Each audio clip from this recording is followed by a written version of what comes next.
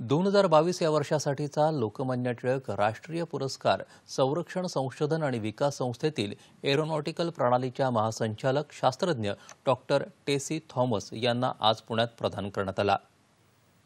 भाजपाचे प्रदेशाध्यक्ष चंद्रकांत पाटील आणि माजी मुख्यमंत्री सुशीलकुमार शिंदे यांच्या हस्ते या पुरस्कारानं थॉमस यांना सन्मानित करण्यात आलं. डॉक्टर थॉमस देशातील क्षेपणास्त्र प्रकल्पाचं नेतृत्व करणाऱ्या पहिल्या महिला शास्त्रज्ञ आहेत. जीवनाचा खरा आनंद देशाची निस्वार्थी सेवा करण्यात आहे अशी भूमिका जगलेल्या लोकमान्य टिळकांच्या नावे दिल्या जाणाऱ्या पुरस्काराचा संशोधनासाठी उपयोग होईल असं मनोगत थॉमस यांनी यावेळी व्यक्त केलं.